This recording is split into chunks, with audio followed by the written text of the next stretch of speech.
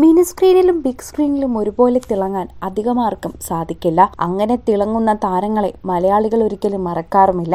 അത്തരത്തിൽ മലയാളികളുടെ ഇടയിൽ ഒരു പാവം കഥാപാത്രമായി ഇപ്പോഴും തിളങ്ങുന്ന താരമാണ് നടൻ കൃഷ്ണപ്രസാദ്. അത്തരത്തിൽ ഒരു പാവമായി മലയാളികളുടെ മനസ്സിൽ നിലനിൽക്കാനുള്ള കാരണം അത്തരത്തിലുള്ള കഥാപാത്രം അദ്ദേഹം ചെയ്യുന്നത് കൊണ്ട് തന്നെയാണ്. പ്രശസ്ത സിനിമാ സീരിയൽ താരം തന്നെയാണ് കൃഷ്ണപ്രസാദ്. രണ്ടു മേഖലയിലും ഒരേപോലെ സജീവമായി നിൽക്കാൻ സാധിച്ചത് തന്നെ താരത്തിന്റെ വലിയൊരു ഭാഗ്യമായി മലയാളികൾ കണ്ടെത്തുന്നു. മലയാള ടെലിവിഷൻ ചാനലുകളിൽ സംപ്രേഷണം ചെയ്ത നിരവധി സീരിയലുകളിൽ പ്രധാന കഥാപാത്രങ്ങളായി താരം എത്തിയിട്ടുണ്ട്. സിനിമകളിലും പാവം കഥാപാത്രങ്ങളിലായി എത്തിയതോടെ തന്നെ കൃഷ്ണപ്രസാദ് എന്ന മുഖം പാവം എന്നുള്ള രീതിയിൽ തന്നെ മലയാളികളുടെ മനസ്സിൽ നിറഞ്ഞാടുന്നു.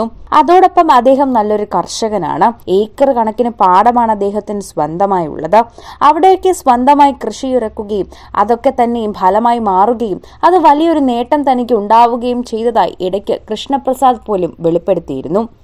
ആയിരത്തി തൊള്ളായിരത്തി തൊണ്ണൂറ്റി ഒന്നിലെ കെ എസ് സേതുമാധവൻ സംവിധാനം ചെയ്ത വേനൽ കിനാവുകൾ എന്ന ചിത്രത്തിലൂടെയാണ് താരം ബിഗ് സ്ക്രീനിലേക്ക് എത്തുന്നത്. പിന്നീട് നിരവധി ചിത്രങ്ങളിൽ താരം ചെറുതും വലുതുമായ വേഷങ്ങൾ അഭിനയിക്കുകയും ചെയ്തു. അയലത്തെ അദ്ദേഹം പവിത്രം സാഗരം സാക്ഷി മിസ്റ്റർ ബ്രഹ്മചാരി സീസൺ കമലദളം വെട്ടം തുടങ്ങി അൻപതോളം സിനിമകളിൽ അനുജനായും സഹനടനായും ഒക്കെ ഇദ്ദേഹം തിളങ്ങിയിട്ടുണ്ട്. ഇടയ്ക്ക് സിനിമയിൽ നിന്ന് ഇടവേളയെടുത്ത ഇദ്ദേഹം കാർഷിക രംഗത്തും സജീവമാണ്. മണ്ണിലേക്കിറങ്ങി കർഷക പുരസ്കാരം വരെ നേടിയെടുത്ത മിടുക്കനായ കർഷകനായി തന്നെ താരം പ്രശസ്തനായി. ശരിക്കും ഇദ്ദേഹത്തെ കണ്ടു തന്നെ പല അഭിനേതാക്കളും പഠിക്കണമെന്നും മലയാളികൾ പറയാൻ തുടങ്ങി.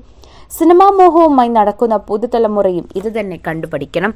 ആയിരത്തി തൊള്ളായിരത്തി തൊണ്ണൂറ്റൊന്ന് തൊണ്ണൂറ്റിരണ്ട് കാലഘട്ടത്തിൽ കലോത്സവത്തിൽ വിന്നറായ ഇദ്ദേഹം പിന്നീട് കെ സേതുമാധവന്റെ വേനൽ കിനാവുകൾ എന്ന ചിത്രത്തിലൂടെ വെള്ളിത്തിരയിലേക്ക് എത്തി അതിനുശേഷം നിരവധി ചിത്രങ്ങൾ ഈ താരത്തെ തേടി എത്തുകയും ചെയ്തു.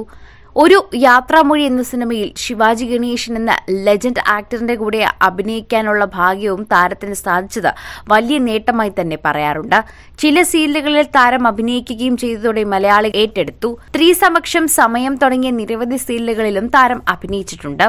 സിനിമയുടെയും സീരിയലിന്റെയും ഇടവേളകളിൽ കൃഷിയിലേക്ക് ഇറങ്ങിയ താരം പിന്നീട് അത് തന്റെ ജീവന മാർഗമായി സ്വീകരിക്കുകയായിരുന്നു. രണ്ടായിരത്തി പത്തിൽ മികച്ച കർഷകനുള്ള അവാർഡ് ഇദ്ദേഹത്തെ തേടി എത്തിയിരുന്നു നമ്മൾ ആഗ്രഹിച്ചാൽ എന്തും നടക്കുമെന്നും താരം പറയുന്നു.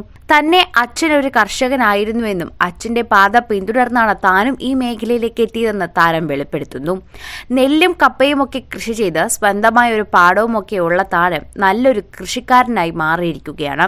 കേരള ചലച്ചിത്ര അക്കാദമിയിലും ലളിതകല അക്കാദമിയിലും മെമ്പറായ ഇദ്ദേഹം ഇപ്പോൾ കൃഷിയിലും മികച്ച വ്യക്തിയായി മാറിയിരിക്കുകയാണ്. സിനിമാ താരങ്ങളുടെ ജാടയൊന്നുമില്ലാതെ സാധാരണ കർഷകനായി ഇദ്ദേഹം രശ്മി എന്ന സ്ത്രീയെയാണ് വിവാഹം ചെയ്തത്. രണ്ട് പെൺകുട്ടികളാണ് ഈ താരദമ്പതികൾക്കുള്ളത് പ്രാർത്ഥനും പ്രപഞ്ചയും. സ്കൂളിൽ ഇവർ രണ്ടുപേരും മിടുക്കർ തന്നെയാണ്. ഇരുപത് വർഷത്തോളമായി സിനിമയിൽ സജീവമാണ് ഇദ്ദേഹം. ഒരു യൂട്യൂബ് ചാനലുമുണ്ട് ഈ താരകുടുംബത്തിന്. കൃഷിയുടെ കാര്യങ്ങളും അദ്ദേഹത്തിന് എല്ലാം പങ്കുവയ്ക്കാനുള്ളതും വിശേഷങ്ങളും എല്ലാം ഇതിലൂടെ എത്തിക്കാറുണ്ട്. ക്ഷണിക്കപ്പെട്ട വേദികളിൽ ഇപ്പോൾ കാർഷിക മേഖലയാണ് താൻ പറയുന്നതെന്നും ഒരു നടനുപരി നല്ലൊരു കർഷകൻ എന്ന നിലയിൽ അറിയപ്പെടാനാണ് തനിക്ക് ഏറ്റവും കൂടുതൽ ആഗ്രഹമെന്നും അദ്ദേഹം തന്നെ ഈയിടയ്ക്ക് സോഷ്യൽ മീഡിയയിൽ വെളിപ്പെടുത്തിയിരുന്നു. യൂട്യൂബ് ചാനലിലൂടെ തന്റെ പാടത്തിലെയും ഷൂട്ടിങ്ങിലെയും വിശേഷങ്ങളൊക്കെ തന്നെയും താരം പറഞ്ഞെത്താറുണ്ട്. അതുകൊണ്ട് തന്നെ അദ്ദേഹത്തിന്റെ യൂട്യൂബ് ചാനലിൽ വലിയ മികച്ച നേട്ടം തന്നെയാണ്. ആരാധകർ എപ്പോഴും ഇദ്ദേഹത്തിനെ ശ്രദ്ധിക്കാറുമുണ്ട്. ഇപ്പോൾ ആരാധകരുടെ ഇടയിൽ പ്രശസ്തനാവുകയാണ് താരം.